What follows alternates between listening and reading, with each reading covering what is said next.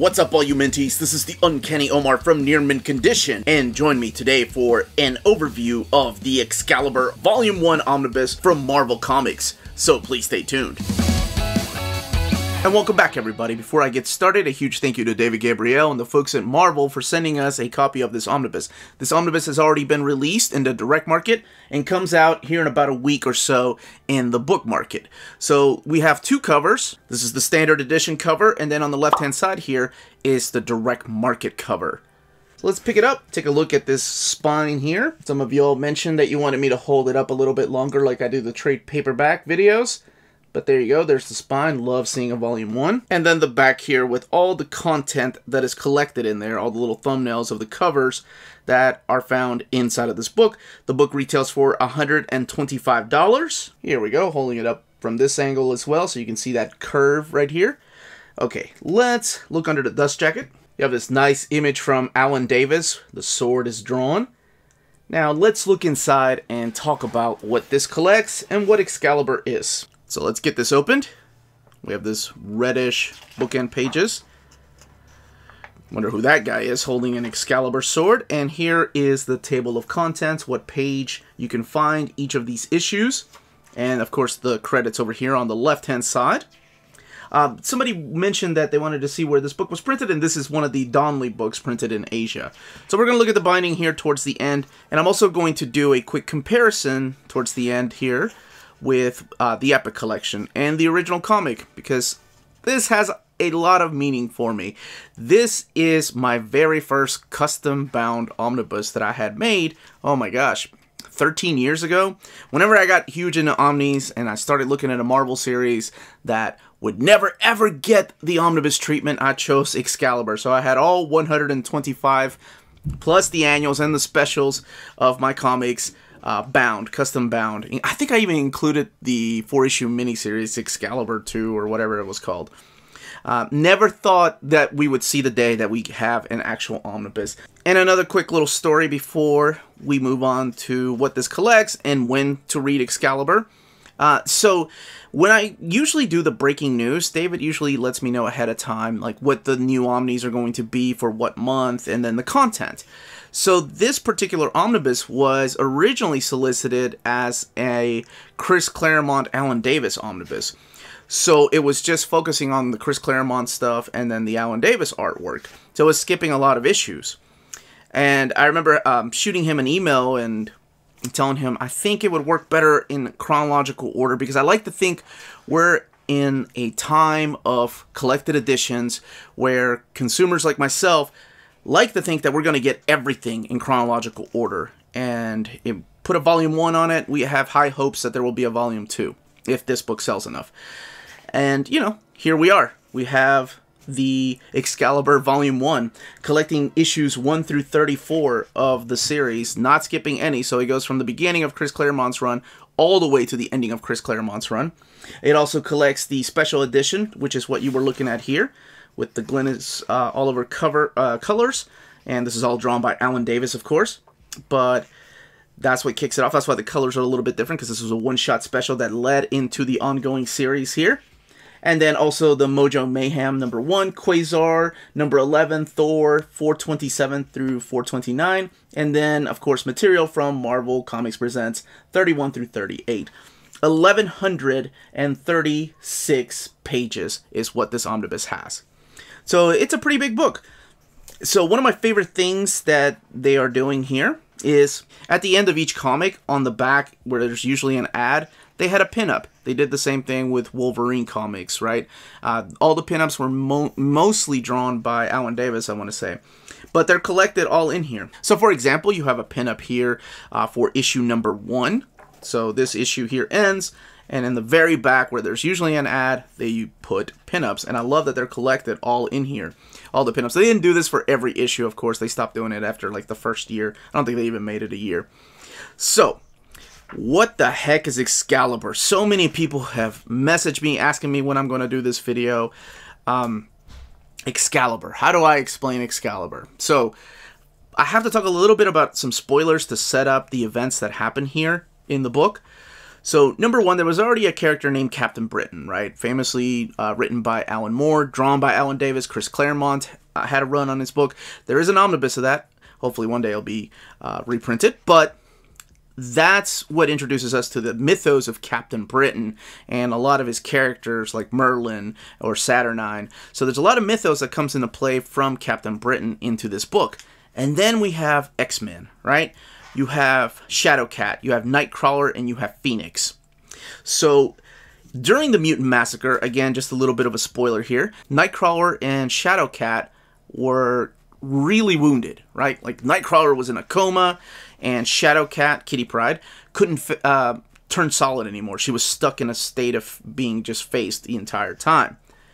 And then Phoenix had just, right after that Hellfire Club fight with uh, Nimrod in about issue 208, 209, she disappeared right before the Mutant Massacre, and nobody saw her. Well, it, there's been some healing. There was a crossover with the Fantastic Four. Now Shadowcat and Nightcrawler are on Muir Island healing, and that's where Moira MacTaggert is.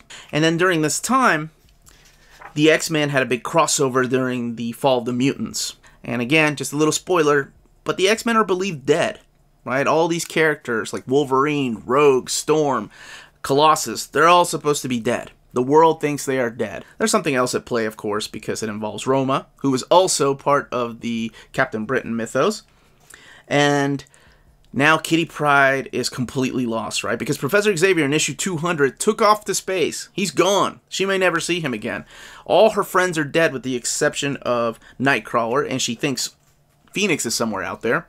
Meanwhile, Captain Britain, his sister Psylocke, Betsy Braddock, is also believed to be dead, so he's mourning in his own way, uh, drinking, and he's with his uh, lady friend, Megan.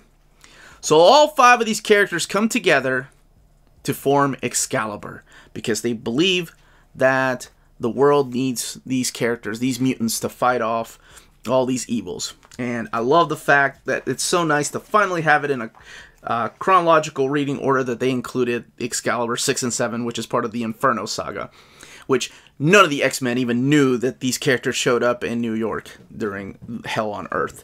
But I love, love, love, absolutely love this cover. It's a beautiful splash page. So here's the front cover, of course, and then in the back, where they usually put a pinup or an ad, like most comics, is this wonderful, just splash art of the events taking place in Inferno. So that's practically it, right? And then you're introduced to these wacky characters like the Red Queen and the Crazy Gang, or Gatecrasher and TechNet, who sounds like they're going to work on your computer, but no, they're not. They're interdimensional beings. And speaking of interdimensional, there's a lot of alternate realities in these stories. As a matter of fact, Captain Britain is known to have started the 616 universe, right? Like that, that the first time somebody ever used the term 616 as we relate to our world here, the Marvel world, was supposed to have been used in an issue of Captain Britain. Here's the Mojo Mayhem storyline with the return of the X Babies, of course, and beautiful artwork by Arthur Adams. Uh, Terry Austin does the inks, and then Bob Wiacek does some of the inks later on. But let's keep going with this. So then we have this huge crossover. When I mean interdimensional and alternate realities, there is an awesome long Yes, let's talk about this one. Uh, the Cross Time Caper, which is about a year long's worth of storytelling in the issues of Excalibur. So, to me, this issue right here summarizes exactly what Excalibur is. It's X Men without the drama, it's X Men without the high stakes. It's just a damn fun book. That's what this is. There's a lot of heart because of Kitty Pryde and Nightcrawler. There's a lot of ties to the X Men.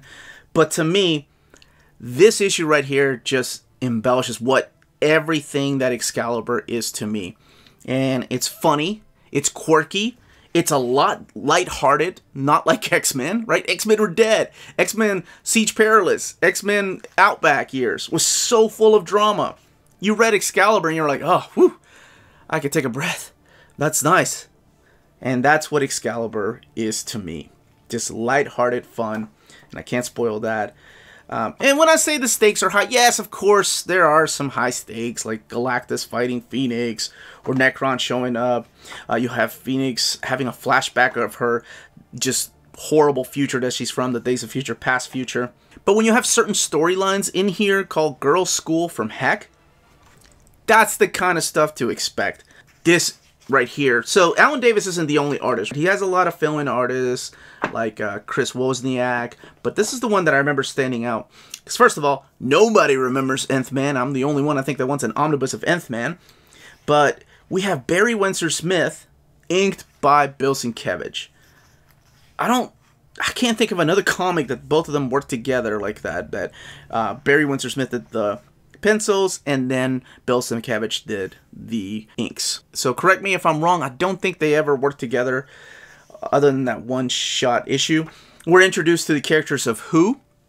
Of course, there's a lot of references to Doctor Who. This is the issue I need to come back to uh, because it's what is it? Weird Happenings Organization, Alistair and Alysande Stuart, the Brigadiers. So there's a lot of things in here that are throwback to a lot of British television. And then, of course, a lot of X-Men. So let's go back here. Here's the uh, stories with Erik Larsen's Marvel Comics Presents. There is a really good cover here, though, by, yes, I had two copies of this, and I tore this one out to hang on my wall for the longest time because this is Todd McFarlane. And I love Todd McFarlane, and he hardly got to draw any X-Men, so I took this one and hung it up on my wall because I was a big fan of Shadowcat. And that's pretty much it, right? So it's Captain Britain, this hero from England that fights crime with four mutants. You have Phoenix, you have Shadowcat, Nightcrawler, and Megan. And Megan is a shapeshifter. Like she can change the way that she looks and appears, and she can also alter like her size uh, as well as her strength. She's a pretty unique character. You have the Ron Frenz and Tom DeFalco Thor back here. Here's a little handbook to the Marvel Universe. There's Megan, Saturnine, Roma. Uh, TechNet. Oh, I forgot. You also have the introduction of Widget and Kyle who plays a bigger part later on. These are some behind the scenes back here. And then this is a Chris Wozniak interview. And oh my gosh, had to take a pause there for a second. This is a Marc Silvestri inked by Terry Austin picture for the uh, Marvel swimsuit issue. Look at all that water. All right, here are the trading cards by Mark Bagley, Arthur Adams. And hopefully this is a good sign because this is the final issue. This is issue 125 that Alan Davis provided the cover for. Here's some homages to issue number one, the cover and then some internal artwork in here. Now, let's talk about this binding. I'm not going to go through all of this, of course, but I did want to show off some of this extras. 1136 pages. That is a big eye. That's exactly what you want to see. And that's why when you're looking at pages 3 and 4, you don't have any gutter loss. That's what makes a good binding on a book. It's that eye and the sewn binding and that's when we're looking at splash pages. When I was flipping through here, you didn't see any gutter loss. And of course, when I'm trying to find one, I have a hard time finding one. But again, using this beautiful splash page, so you can get an idea of what little, no gutter loss there is right there. Now, there is something that I did notice that I also noticed in my uh, Epic collections. And I'm going to use issue 30 for an example. So here's issue 30, and something that I noticed is I don't think this is going to do it justice the video, but whenever they're doing these shades on some of these colors, there's this weird, almost, I don't want to say pixelation. Let me see if I can do it. A zoom in. Found in the colors. It's only when they're doing a shade, like something is shaded. Let me use another example here. So I think Captain Britain is a good example, like on his legs. And it's not often. It's not all the time. But I don't know if it the resolution needed to be higher. I don't know if it was the type of color that they used on the paper that when it was scanned, this is what it looks like. But it's also found in the Epic Collection. So this is Epic Collection number two. And the colors, the way that it looks a little blurred, is also found here. Actually, it looks a little bit better in the Omnibus, like it's lightened up a little bit. Let me show you what it looks like originally. Again, my custom bound that I made myself well, 15, 14 years ago. So here is what the original comic book looks like. Let me zoom out. So the colors and shading look really smooth. There's no uh, pixelated or blurriness, if you will. Whereas if you look at the omnibus, there's a little bit of that. And it doesn't happen often. Really, it doesn't happen. The only reason I remember that it happened was because I had the Epic collection. And I remember looking at that. And again, I stress we're talking about just two issues and not every page. Somebody once told me in the comments section that it has to do with the scanner and the paper quality that they use for certain issues. That's what the outcome looks like. So I'm not really sure, but it rarely happens. But I did want to point that out for those that were asking that had the Epic collection, if they're using the same files. It looks like they are using the same files. But like I said, this looks a little bit lighter than it did in the Epic collection. So if you have any more questions, let me know in the comments down below. But that, as they say, is that. And if you want to purchase this book, don't forget to check out our sponsor, CheapGraphicNovels.com, your online home for brand new graphic novels and collected editions up to 50% off the cover price.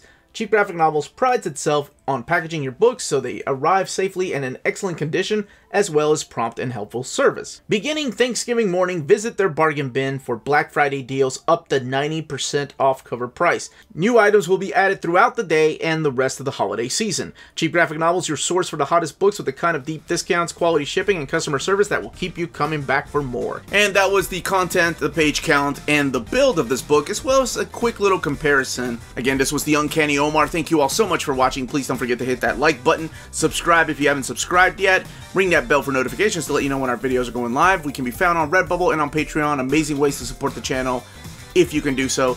And thank you so much to our existing patrons. More importantly, please everybody, stay healthy, stay safe out there, and much love.